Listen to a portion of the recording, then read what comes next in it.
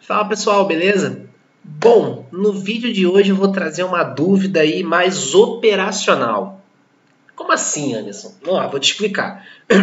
A gente fala bastante sobre análise de fundos, ah, avalia vacância, avalia histórico de resultado, avalia vencimento, avalia LTV no fundo de papel, avalia inadimplência, beleza.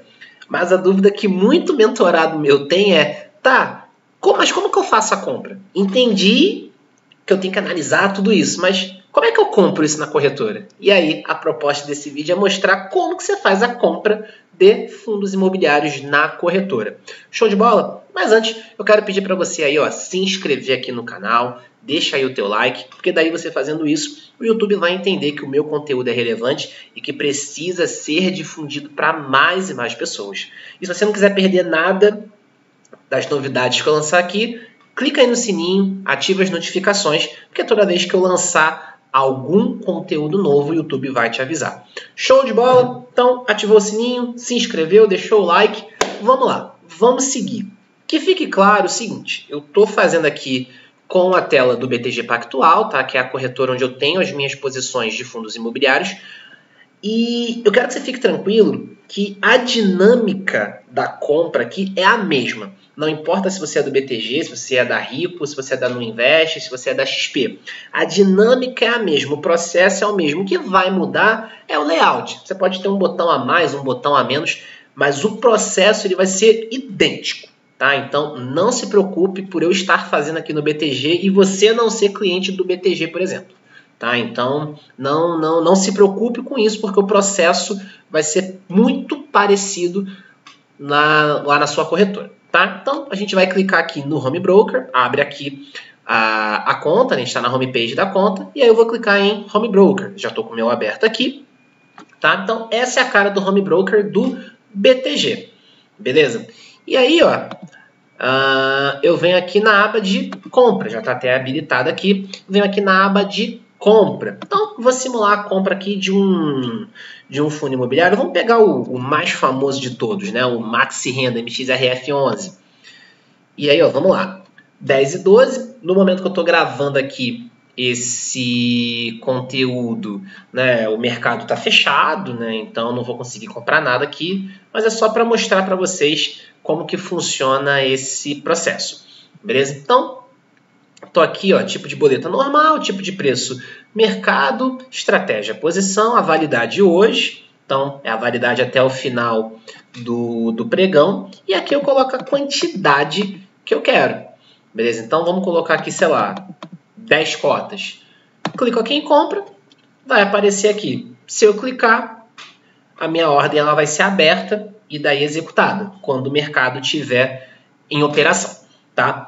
Em algumas corretoras, Rico, Nuinvest, XP, por exemplo, o investidor vai ter que colocar a assinatura eletrônica. Não é a senha dele, tá? É a assinatura que ele usa para validar as movimentações financeiras na conta de investimentos. Tá? Então você vai ter que colocar ali a sua assinatura eletrônica e daí validar. Aqui no BTG é só você clicar de novo em confirmar que a ordem é aberta. Tá? Então, em algumas corretoras, pode ser que você precise colocar a sua, assinatura eletrônica. Não tem problema, é uma etapa a mais. É só colocar a assinatura e validar. Isso tanto para compra quanto para venda. Tá? Então, no caso aqui da venda, é o mesmo processo, só que ao invés de comprar, você vai vender. Tá? Um detalhe importante aqui sobre o código de fundos imobiliários é o seguinte: você tem um código formado por quatro letras e o final 11. Todo fundo imobiliário tem final 11 mas nem tudo que tem final 11 é fundo imobiliário. Pode ser um ETF, pode ser uma unit, tá? Então, só para trazer aí essa essa noção de que todo fundo imobiliário tem final 11, mas nem tudo que é final 11 é fundo imobiliário, tá? A gente tem ETF e unit que também terminam em final 11. São compostas aí por uma sequência de quatro letras e com final 11, mas não são fundos imobiliários. Show de bola? Então, uma dúvida mais operacional de como que a gente faz a compra no home broker da corretora. Isso aqui serve para fundo, serve para ação, serve para BDR, serve para ETF. É o mesmo processo. Show de bola? Bom, espero que tenha ficado claro aí, espero que tenha ficado bem entendido. Qualquer dúvida, manda nos comentários, me chama aí no Instagram, tá? Que vai ser aí uma honra poder te ajudar nessa caminhada. Show? Bom, quero comentar também que eu vou deixar na descrição desse vídeo o link para a assinatura da planilha do Método FQ, uma planilha uma assinatura de 12 meses, onde você vai receber a cada 15 dias uma planilha atualizada com fundos imobiliários de qualidade para você analisar, alguns rankings para você poder estudar, para você ter um norte para tomar melhores decisões de investimentos em fundos imobiliários. E a planilha também conta com uma calculadora de dividendos, onde você consegue traçar ali meta do quanto que você precisa investir para ter uma determinada quantidade de renda mensal, quantas cotas você precisa ter de um determinado fundo para poder comprar uma nova cota só com os dividendos recebidos. Beleza? Então, são algumas das funcionalidades que você tem com a planilha do Método FQ. Eu vou deixar o link para assinatura na descrição do vídeo. Combinado? Bom, é isso. Conta comigo. Forte abraço. Nos vemos no próximo vídeo. Tamo junto.